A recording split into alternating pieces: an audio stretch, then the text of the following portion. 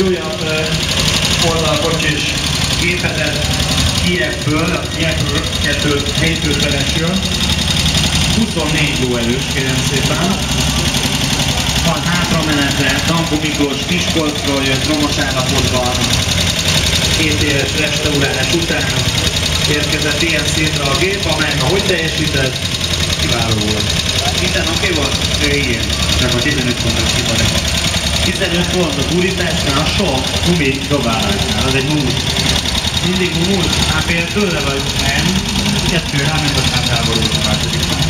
Akkor nevettek ott a nézők? Hát erről szól az egész. Ez a jó, hogy önismeret rajta.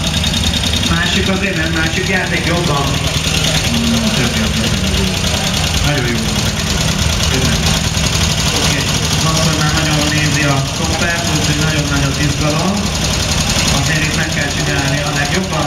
Hát, megpróbáljuk azért. Mi pedig megfigyeljük majd nem sokára.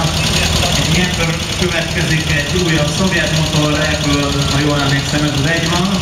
Itt a mai napon, hogy érdemes a tolatást itt meg lehet akkor próbálni majd valamelyik feladatnál szerintem jól jön.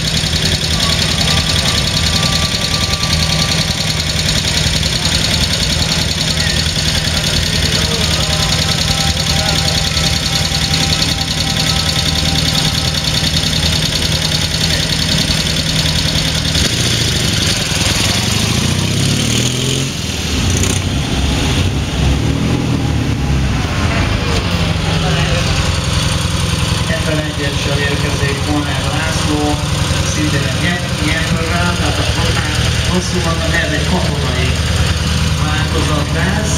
750-es, ez is négysebességes, kardánhajtású, nem, rast, nem restaurált, két éve születésnapjára kapta, egy évig restaurálgatta, vagy egy kicsit kész, készítette. Ebben is van hátra benne? Ebben nincsen, de ez a kisfiam még nem ebben.